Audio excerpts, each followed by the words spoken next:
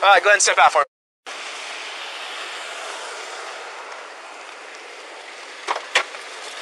Got anything in your pockets, anything like that? Oh, I'm sorry. What do you got behind your back? I'm sorry. Please don't arrest me. Drop your hands. Put it on the ground. I, would rather. Put it on the ground. Put it on the ground now. Step it up, coward. You got 1032. Arms out to your side. Drop the.